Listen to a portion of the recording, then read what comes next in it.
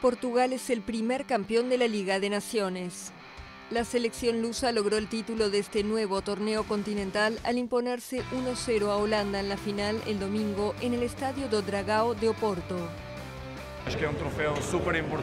Creo que es un trofeo muy importante para todos los portugueses y para nosotros. Desde 2016 el equipo ha cambiado su historia con un nuevo trofeo. Felicitaciones a todos. Obviamente estamos muy felices.